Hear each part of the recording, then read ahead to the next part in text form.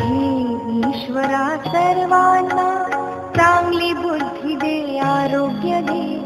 सर्वांना आनंदात ऐश्वर्यात ठे. सर्वांचं भलं कर कल्याण कर रक्षण कर. आणि तुझे गोड नाम मुखात खंड राहू दे माणसाचं मन त्याच्या बोलण्यावरून ओळखावं हा सर्वसाधारण नियम आहे. परंतु गंमत अशी की अपवादात्मक उदाहरणं अशी असू शकतात की तिथं माणूस अत्यंत धूर्त असतो. आणि बोलण्यावरून त्याचं मन ओळखणं सामान्य बुद्धीच्या लोकांना शक्य होत नाही. या संदर्भात संसारी असावे सावध हा जीवनविद्येचा महत्त्वाचा सिद्धांत नीट लक्षात ठेवणं आवश्यक आहे. गोड बोलणारी माणसं ही दोन प्रकारची असतात.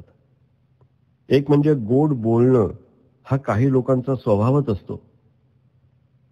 स्वभाव गोड म्हणून त्यांचं बोलणंही गोडच असतं. याच्या उलट दुसऱ्या माणसांचा प्रकार असतो. ते गोड गोड बोलून इतरांना प्रथम भुलवतात आणि नंतर हातोहात फसवतात. ही धूर्त माणसं गोड गोड बोलतात ते केवळ स्वतःचाच स्वार्थ साधून दुसऱ्यांना फसवण्यासाठीच. म्हणून एखादा माणूस गोड गोड बोलू लागला की आपण लगेच सावध झालं पाहिजे आणि त्याच्या गोडगोड बोलण्याच्या पाठीमागे काय हेतू आहे याचा सावधचित्त राहून शोध घेतला पाहिजे. एवढं साधं पथ्य पाळलं तर गोड बोलणाऱ्या लबाड माणसांकडून आपली फसगत होणार नाही.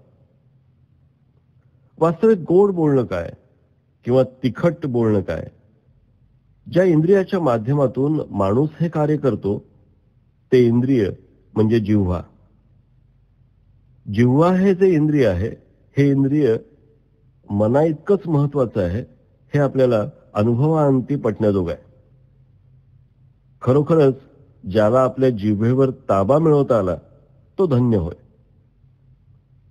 वास्तविक जिव्हा म्हणजे हाड सुद्धा नसलेला नुसता मांसाचा गोळा. परंतु या जिव्हेची कीर्ती आणि शक्ती फार आगाध आहे. वामन मूर्ती मोठी कीर्ती ही म्हण या जिव्हेला अचूक लागू पडते. एकंदर इंद्रिय चौदा आहेत.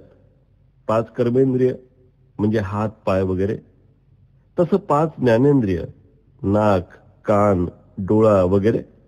आणि चार अंतरेंद्रिय मन चित्त बुद्धी आणि अहंकार या सर्व इंद्रियांमध्ये जिव्हा हे एकच इंद्रिय असं आहे की त्याच्या ठिकाणी कर्मेंद्रिय ज्ञानेंद्रिय आणि अंतरेंद्रिय या सर्वांचा संगम झालेला आहे. वाचारूपानं वागेंद्रिय कर्मेंद्रिय आणि रचनारूपानं रसनेंद्रिय ज्ञानेंद्रिय अशी दोन्ही इंद्रिय जिव्हेमध्ये व्यक्त आहेत. त्याचप्रमाणे मन हे अंतरेंद्रिय सुद्धा जिव्हेत गुप्त रूपानं वास करतं असा तिन्ही इंद्रियांचा त्रिवेणी संगम या जिव्हेमध्ये झालेला आहे. माणसाला रोग किंवा आरोग्य देण्याचं सामर्थ्यही या जिव्हेत आहे. बहुतेक सर्व रोगांचं उत्पत्ती स्थान पोट आहे. जिव्हा ताब्यात नसेल तर खाण्याच्या बाबतीत धरबंद राहत नाही. आणि पोट बिघडून रोगांना आमंत्रण दिलं जातं. याच्या उलट जिव्हा ताब्यात ठेवून असलेला मिताहारी हा सर्वसाधारणतः रोगांना चार पावलं दूर ठेवू शकतो. या जिव्हेमध्ये शत्रू किंवा मित्र करण्याचंही सामर्थ्य आहे. हातात तलवार आहे म्हणून वाटेल तशी फिरवणारा माणूस अनेक लोकांचे मुर्दे पाडण्याला मात्र कारणीभूत व्हायचा. त्याप्रमाणे मुखात जीव आहे म्हणून मनाला येईल तसा तिचा वापर करणारा माणूस स्वतःला अनेक शत्रू मात्र निर्माण करून घेतो. सांगायचा मुद्दा या जिव्हेचं सामर्थ्य अपरंपार आहे. या जिव्हेचं सामर्थ्य न समजलेल्या मुखातील दातांनी एकदा तिला म्हणजे त्या जिव्हेला आव्हान दिलं. म्हणाले हे जिव्हे तू हे लक्षात ठेव. आम्ही सगळे मिळून एकूण बत्तीस आहोत. तेव्हा उगाच वटवट करू नकोस. नाहीतर आम्ही तुला आमचा इंगा दाखवल्याशिवाय राहणार नाही. यावर जिव्हा म्हणाली हे दातानो लक्षात ठेवा की मी जरी एकटी असले तरी तुम्हा सर्वांना भारी आहे. तेव्हा उगाच माझ्या वाटेला जाऊ नका. दाताना वाटलं ही उगाच जिव्हेची धमकी आहे. आणि त्यांनी तिला परत आव्हान दिलं. त्याबरोबर जिव्हेनं समोरून येणाऱ्या एका दणकट इस्माला एक शिवी हसडली. त्याबरोबर त्या माणसानं याच्या श्रीमुखात अशी जोरानं मारली की त्या शिवी हसणाऱ्या माणसाचे बत्तीस दात खाली आले. असा हा जिव्हेचा महिमा आहे. याच्या उलट संयमशील राहून जिव्हेचा कुशलतेनं वापर करणारा माणूस मित्र जोडील. निदान तो शत्रू तरी निर्माण करणार नाही. ज्ञानेश्वर माऊली सांगतात हरिनाम सार जिव्हा या नामाची उपमा त्या दैवाची कोण वाणी?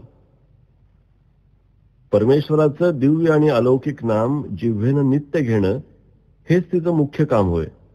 किंबहुना त्यासाठीच ही जिव्हा परमेश्वरानं सर्वांना दिली आहे. परंतु दुर्दैवानं बहुतेक सर्व लोकांची जिव्हा नेमकं हेच काम करत नाही. दातात अडकलेले पदार्थ जिव्हेनं सारखं काढत राहणं दुसऱ्यांना जीभ दाखवून वेडावणं इतरांची निंदा करणं आणि विनाकारण दिवसभर जिव्हेला बडबड करण्याच्या कामाला लावणं अशी सर्व कामं जीभ करते. जीभ फक्त एकच काम करत नाही ते काम म्हणजे नाम नामोच्चार. आणि याचा परिणाम जीवाला अपरिमित दुःख भोगावं लागतं. ज्याप्रमाणे भूमध्य समुद्रात लष्करी दृष्ट्या जिब्राल्टरला अत्यंत महत्त्व आहे त्याप्रमाणे जीवनात प्रापंचिक आणि आध्यात्मिक दृष्ट्या जिव्हेला फारच महत्त्व आहे. माणसाच्या देहाच्या एका टोकाला म्हणजे पायाच्या बोटाच्या नखाला जर सर्पानं दंश केला तर त्याचं विष वरवर चढत चढत सर्व देहात पसरतं आणि अंती तो माणूस गतप्राण होतो. त्याप्रमाणे साधकाच्या जिव्हेच्या टोकाला जर भगवन नामानं दंश केला तर त्या नामातील प्रेमामृत साधकाच्या सर्व जीवनाला व्यापून टाकतं. आणि त्याचं जीवन अंतर्बाह्य आनंदमय करतं. ज्याप्रमाणे लोखंडाच्या नळीच्या टोकाला जर परिसाचा स्पर्श झाला तर सबंध लोखंडाची नळीच सोन्याचे होते. त्याचप्रमाणे साधकाच्या जिव्हेवर भगवन नाम एकदा का नाचू लागलं की त्याचा सर्व संसार सोन्याचा म्हणजे सुखाचा होतो. शुभ बोल रे अशी एक आपल्याकडे उत्कृष्ट म्हण आहे.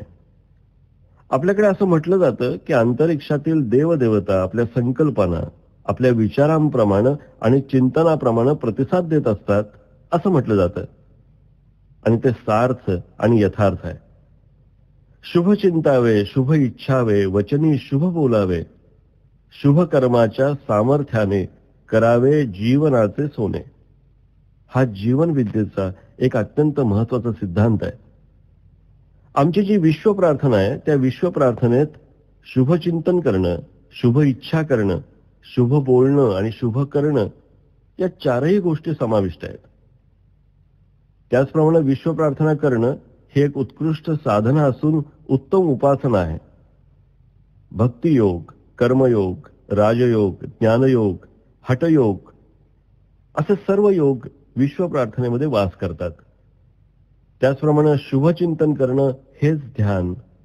शुभ इच्छा करणं हीच प्रार्थना. शुभ बोलणं हेच भजन आणि शुभ करणं हेच पूजन होय.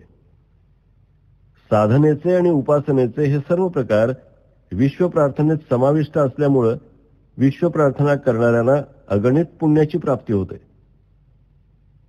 जीवनविद्या सांगते की अर्थ स्वार्थ परार्थ आणि परमार्थ हे सर्व सर्वार्थानं साध्य आणि सिद्ध करण्यासाठी विश्व प्रार्थना हा रामबाण उपाय आहे. ओम शांती शांती.